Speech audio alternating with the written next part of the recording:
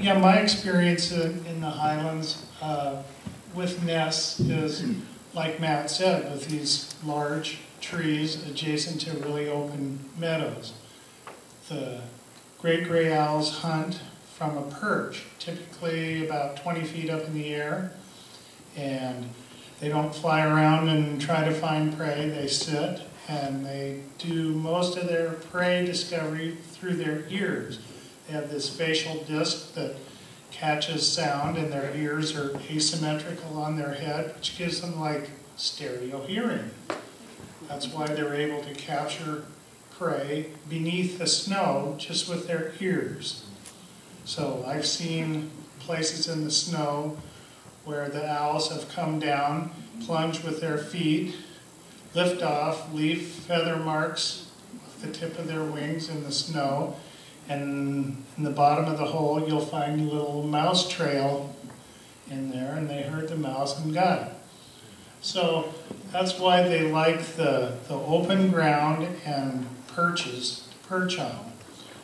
Uh, most of the nests that I've monitored in the area where I live are in one specific nest platform that was put up by Kent Woodruff about nearly 20 years ago. The biologist in uh, Twistberry at Methow. And so I think uh, Matt has some pictures of those nest platforms. He did a really good job putting them up there. And so they're, they're in this type of habitat with the cover above so that uh, they, because they would be vulnerable to avian predators.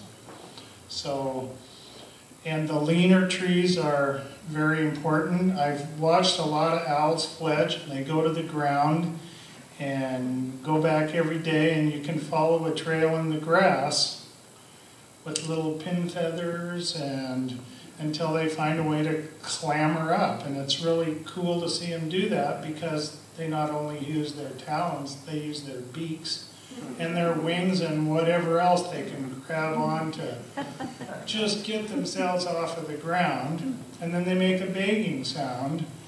And maybe you've all heard, it's with all the owls, it's kind of similar. It's kind of like a type of noise. It makes you want to feed somebody, doesn't it?